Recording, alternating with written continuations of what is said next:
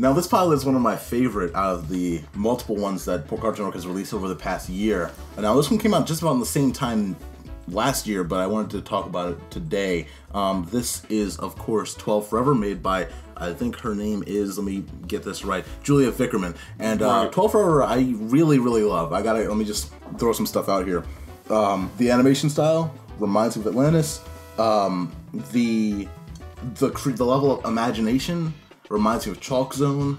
The way that they get to the, ima- the her imagination reminds me of Dragon Tales. Right, right. And There's so much nostalgia that I love about this, but then there's just so much imagination that we just don't see from a series in general like this. Like I said, Chalk Zone was the last one that really had the creative ability like uh, we see with this pilot, and I really want this one to be a pilot, but. I don't. I mean, be a series, show. a Be a show, series. a show, but I just don't know if it actually will be. This is one of those that really seems like it. Could, It's one of those, it- like, this is like this is so like, '90s Cartoon Network, Right. That I don't know if it'll ever be an actual show. That's my one thing. I mean, it's kind of cool, like to see a twelve year old not really give a fuck like that because No, it she- makes sense. She's just like, It makes perfect sense. I don't really. She's like, I don't really care what's like, what's so great about being a chair anyway. You just grow old, get dumb. She's like, and she just like, you know, she she sees a like she turned one of her classmates into a baby, and you, instead of you know.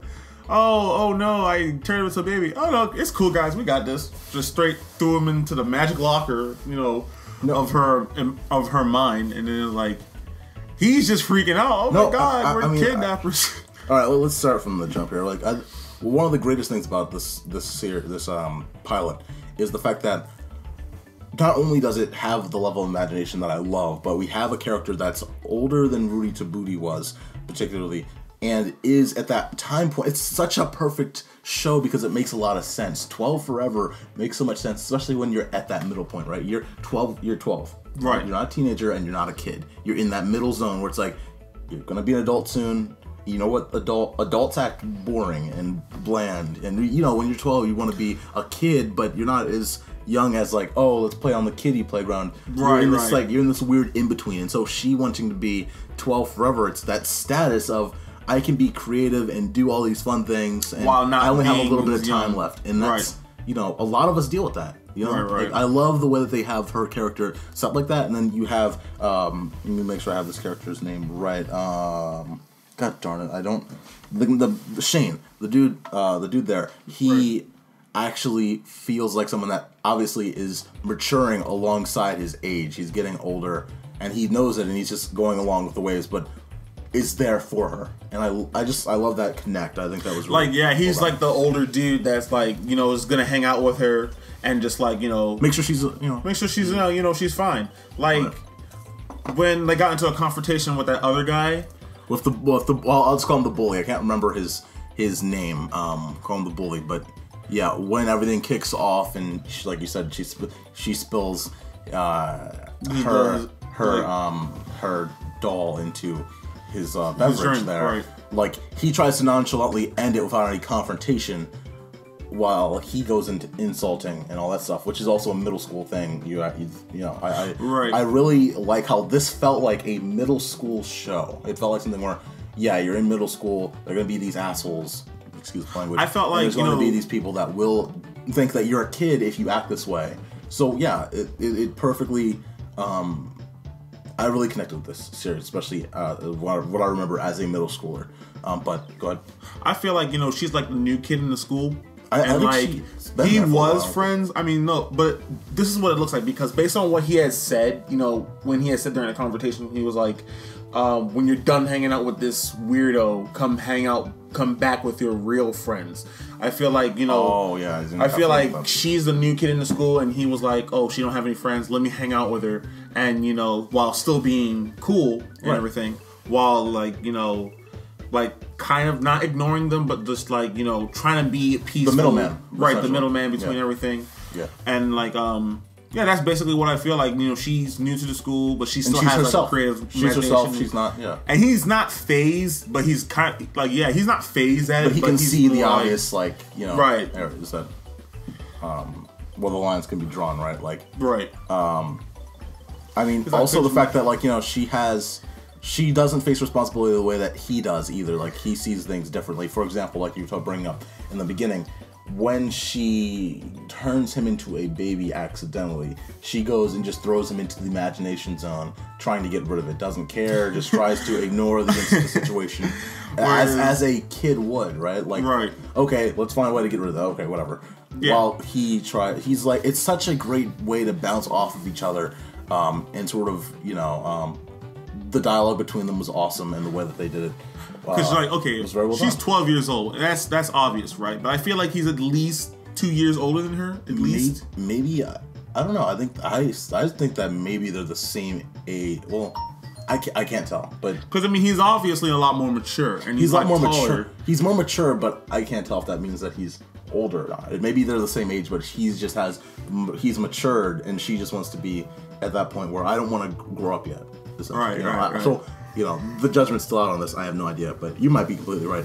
Um, you know, uh, I again, like I said in the beginning, I love the way that they introduce um, the uh, her imagination zone. Um, Like, because it kind of like when she had to Par- say, Party Island is what it's called. Right. The the- you know, the, she had to say, like you said, had to say a jingle to get it going, and then she had to um, use the key, which kind of like reminded me of well us about Dragon Tales. Uh, We watched Dragon. We watched the Dragon Tales intro and everything. Because they had the little they yeah. in Dragon Tales they had the little the little dragon scale and they had to say the jingle and the the dragon paintings would come off the wall and transport them there in sort of the almost the same fashion of how you know she gets she gets in. She jumps into a time, a time and space uh, Right. continuum and jumps into Party Island. I just love the way how imaginative this is. Right, like you don't see shows that really do this much anymore, and I really Right. love the fact that okay, she has her own thing, and this could be lore in itself, and really could really explain. I love to see more explanation as to how she gets this uh, this gem, Ability. this ability, uh, and all that. But I love the the level of imagination. You know, she's her own like superhero. Like she jumps in, she's her own superhero. She's like her her own person.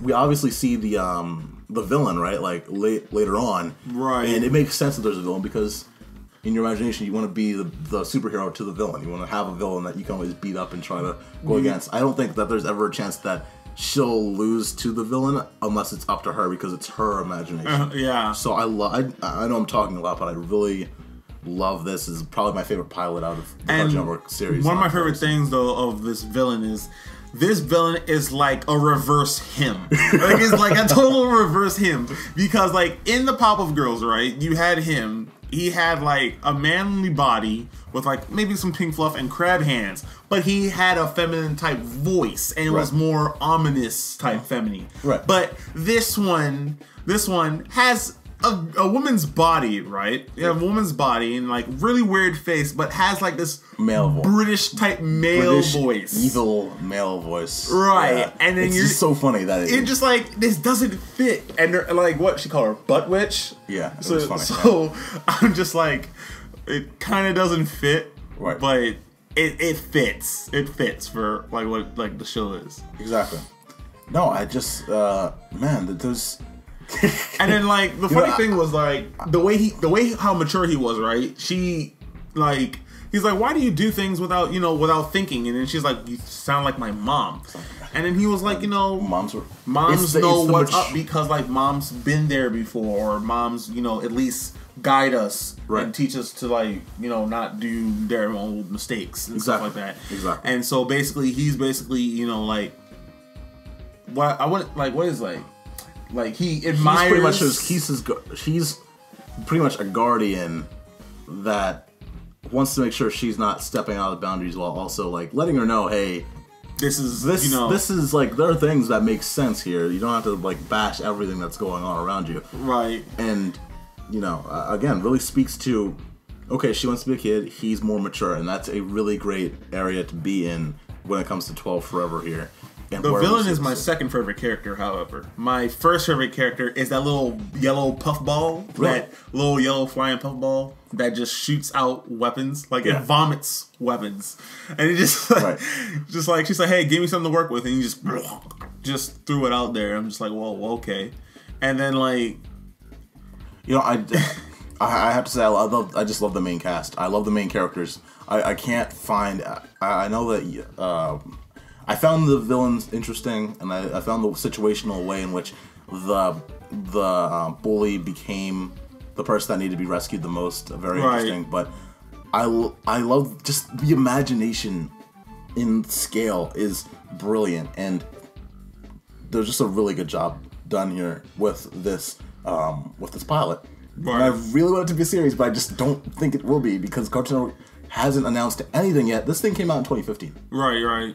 And This now it's came out in about to be 2015, and it's and it's there's nothing been announced yet. Um, literally about to be the end of the year, and 2017 is 2017 coming up. I, I this is this that I told Austin actually um middle of this year when he wanted to do a react he wanted to do a reaction to it and I said um because oh no he showed he wanted to do a reaction when the new pilots came out when Victor and Valentino and and Infinity Train came out because they, they came out at the end of this year Right. and um, I was like, I can't get excited for those, and I'm I'm excited for those two, but I can't be excited because even these two, Infinity, Tr- Infinity, I mean, um, Twelve Forever and Back to Backspace didn't haven't gotten announcements yet. Cartoon Network Right. hasn't done anything with these two prop with the property of Twelve Forever.